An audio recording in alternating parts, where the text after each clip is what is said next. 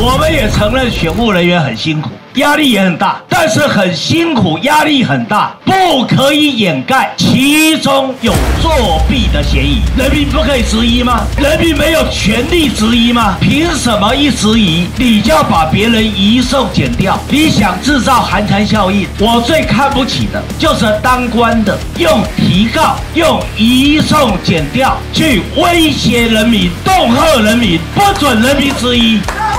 这种行为，我给他三个字，叫做我再给他两个字，叫做无耻。没关系，我们就告，请二十五位跟我联络，我义务帮大家打这一场。我义务为二十五位人民来告李志勇。大家好，昨天啊。中选会李进勇移送了二十五件，二十五件到检调，他想用提告来恫吓人民的权利，这是非常可耻的行为，可耻，这是开民主的倒车，这个是心虚的表现。我今天直接向李进勇喊话，你也可以来告我啊。你也可以把我移送啊？难道人民没有质疑的权利吗？台湾号称民主的民主的圣地，我请问你，到了二零二四年，我们的选举大选还发生这么多明显的疏失，我用疏失两个字是很客气的哦。如果这个疏失被发现是连续性的，组织性的、系统性的，我们质疑他做票，当然就是人民的权利吧。对，你凭什么把这些质疑的人去移送检调，用提告来恫吓？这是一个民主的行为吗？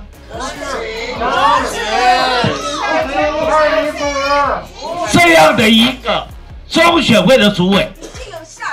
没有什么叫经过的，他只有一条路，就是下台负责嘛。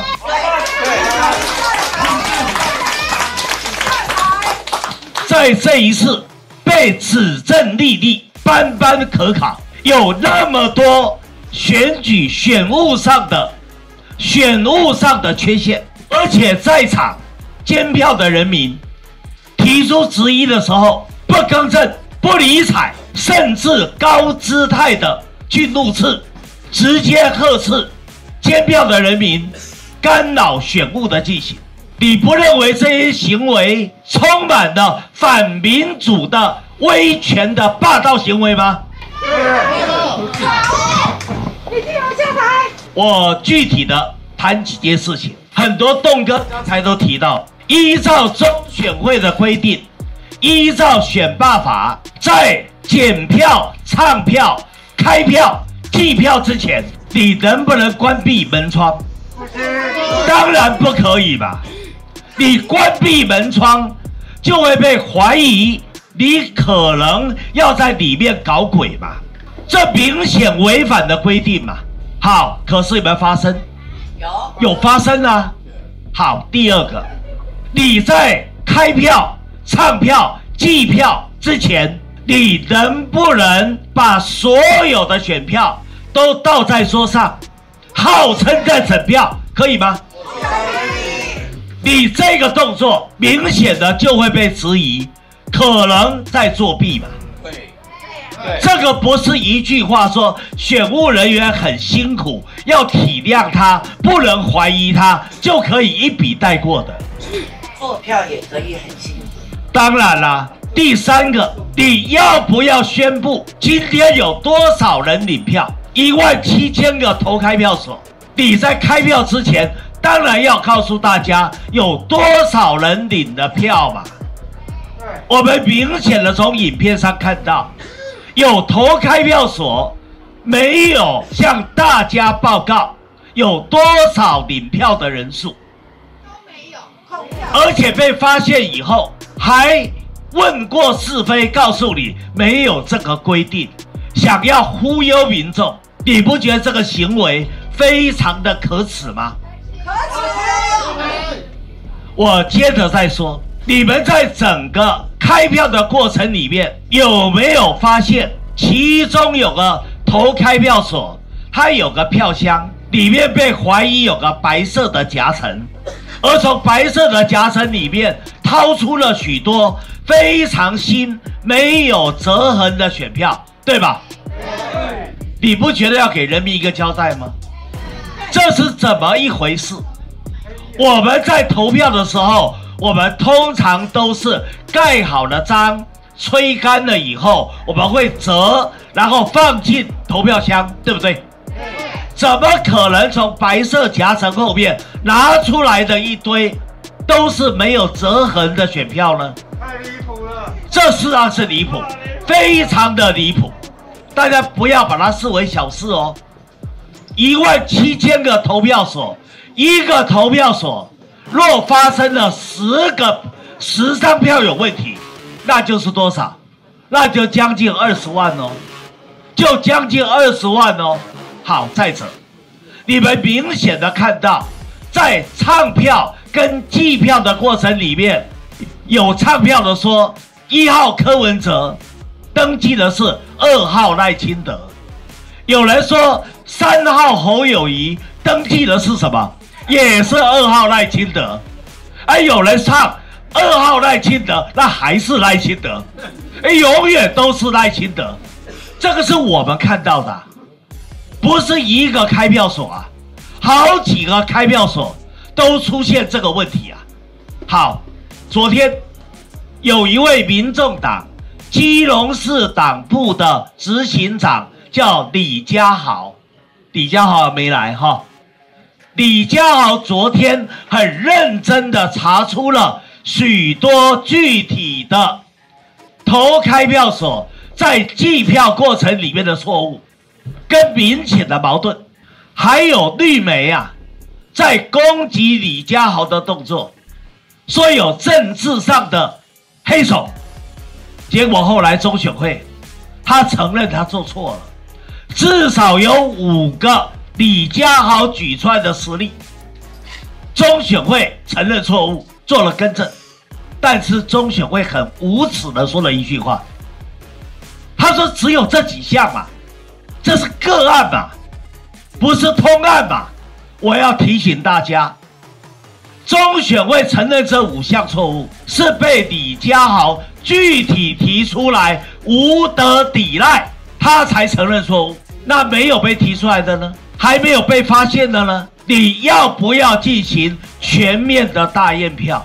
两千零四年，我当时为了全民大验票，还冲撞了法院，后来还坐了牢，但是至少换来了全民大验票。在台湾史无前例的进行，即使在当年莫名其妙的发生了无名火，哈，有些储藏选票的票箱的储藏仓库突然间失火了，烧得一干二净了，湮灭证据了，也有在里面做了很多的手脚，还说不能够验选举名册。即使在这样情况之下，当年连送的选票。都返回来了一万多票，所以有没有？当我们发现这一次的选务疏失有这么多的时候，中选会你要不要给我们一个交代？你要不要考虑做验票的动作？这一点会涉及到，刚等一下张金律师可能会提，他可能涉及到选举无效的问题哦。我觉得我们可能要提出来选举无效的诉讼哦。好当然，我们也承认选务人员很辛苦，压力也很大，但是很辛苦、压力很大，不可以掩盖其中有作弊的嫌疑。人民不可以质疑吗？人民没有权利质疑吗？哦，凭什么一直移，你就要把别人移送检调，移送法办？你想制造寒蝉效应？李俊勇单单这个行为，他就没有办法做中选会的主委，他就应该滚下台去嘛。你还有资格做中选会主委吗？你还有脸待在这个位置上吗？只有一条路嘛，你下台负责嘛。然后请张俊律师带着我们提出来选举无效的诉讼啊，要比这个生我们要求验票嘛，因为现在我们发现了太多的个案，我们没有办法确定个案的后面有没有系统性的操作，我们不知道，目前不知道，我们没有办法做跳跃性的推理，但是有这么多的数，有这么多的选举上的错误，这些错误是有意的还是无意的？我们要了解啊，我们希望全面的调查。李家豪提出了五项，中选会承认五项错误，那没有提的呢？没有提的投开票所，难道就没有错误吗？难道就没有问题吗？那好几个里的投开票所明显出现了矛盾的情况嘛？有民众党政党票得票是零，而柯文哲得到几百票，啊，也有民进党他的政党票是零，而赖清德也得到好几百票，不合理嘛？这个明显在选务上有严重的错误嘛？我说过，严重的错误是疏失，是缺失，还是有意的？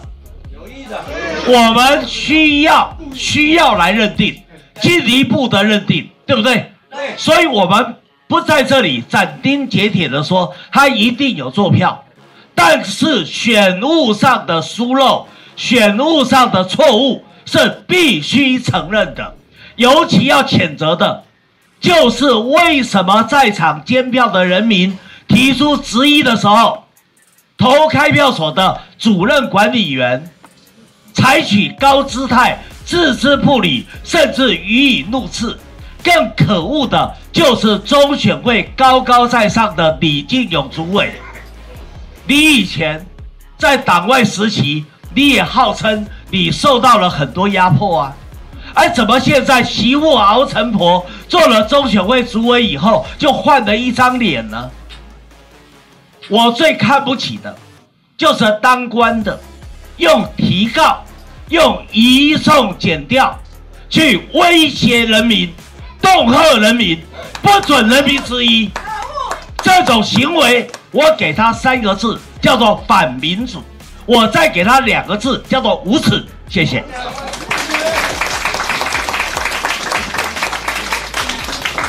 各位朋友，我是张静律师。依照总统，好，我分为五个部分。第一个部分是肖美琴的资格问题。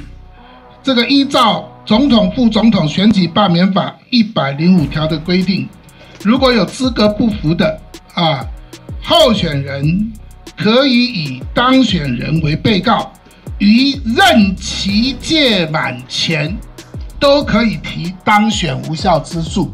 所以呢，在四年之内啊，都可以提当选无效之诉。这是针对候选人的资格的这个部分是当选无效。